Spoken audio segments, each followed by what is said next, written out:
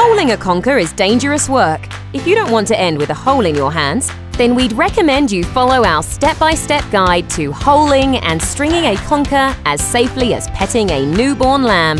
1. Select the right equipment. Hand drill for holing the conker. Leather glove for holding the conker. 2. Hold conker in hand, wearing the leather safety glove. 3. Drill the conker by slowly pushing and twisting the hand drill. 4.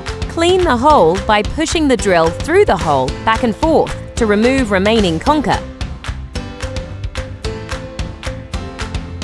Alternative conker holing techniques. The screwdriver punch technique. Hammer and nail.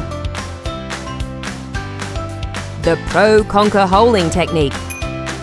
Use a special conker drill rig and go pro, enabling you to hole even the hardest of conkers. Now it's time to string your nut. 1. Choose your string. String options include garden twine, shoelace, leather lace, bungee cord, marine grade cord, Kevlar coated cord. 2. Thread the string through the hole. Secrets to success here include make sure your conker hole is clean and clear. Make sure the string end isn't frayed. Push the string. 3. Knot the end of your string. 4. Test the firmness of your knot and string. You're now ready to battle.